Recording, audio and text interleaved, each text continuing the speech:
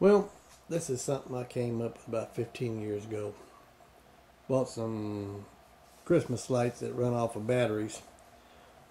Cut, uh, drilled some holes in my hat, and you could, you know, see me out there in the field with red, white, and blue on, which is kind of my trademark.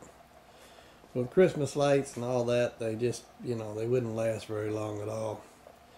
And after 15 years of having the same helmet, and going through that, I tried to get a band for the insert on my helmet, and they said they don't make it for that particular one. So I went ahead and bought brand new hat, put a headlight on it that has ultraviolet, white, green, and blinking, so you can see fluorescent if you have to. And then I put a bunch of LEDs around it. I got 18 on this hat, six on the side, on each side. Whoop. Six on each side. Three in the front, three in the back, red, white, and blue. And in a few minutes here, I'll go out in the field and kind of show you our front yard and let you see how they look. But I said it while I was doing it, I might as well make my crew some too. So I went ahead and built an all red one, an all white one, and an all blue one all still got the same headlights on them. Like I said, I did this about 15 years ago originally.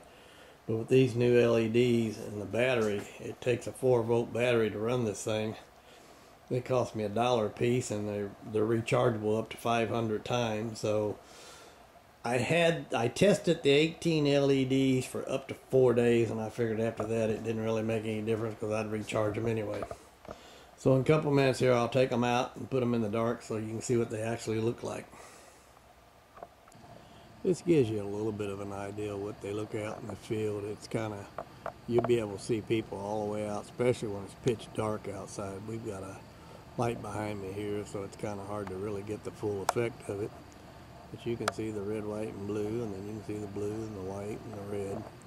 Like I said, I did this about 15 years ago with Christmas lights, but these right here, man, they, they, they're nice. You can see people from far away. Thanks for looking.